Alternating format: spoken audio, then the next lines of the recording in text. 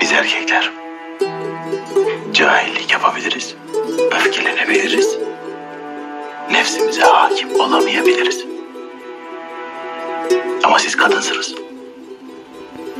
Bizim öfkemizi, nefretimizi, nefsimizi yönetmek size yakışır. Şunu bilin ki biz bunu yapabilseydik zaten size ihtiyacımız kalmaz.